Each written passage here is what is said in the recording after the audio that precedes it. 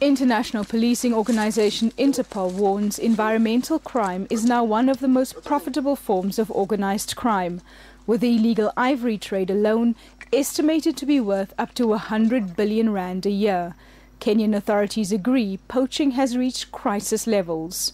Kenya stands at a crossroads in as far as uh, environmental criminal activity in this country is concerned. We have seen in the recent months the wanton destruction of elephants and rhinos in this country. The most alarming rate, I think 190 elephants have been killed so far this year. And uh, I think for us, this is a crisis of unprecedented proportion.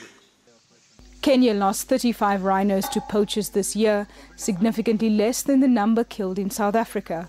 But the country has already taken drastic measures to curb this crime, setting up a crack paramilitary unit to hunt down poachers and tightening up its legislation. But these criminal networks often operate across borders with impunity. That's where Interpol is hoping to assist its member countries. That is why our work brings us together the world of Interpol and the world of the United Nations Environment Programme in the sense of establishing both at the international level but also supporting countries in developing the legislation, the norms and standards and also the enforcement capacity to try and arrest what is at the moment a rapidly escalating environmental crime wave. Interpol dismissed speculation that poaching could be funding terrorist groups like Al Shabaab. You would like to know if there is a link with illegal poaching and terrorism.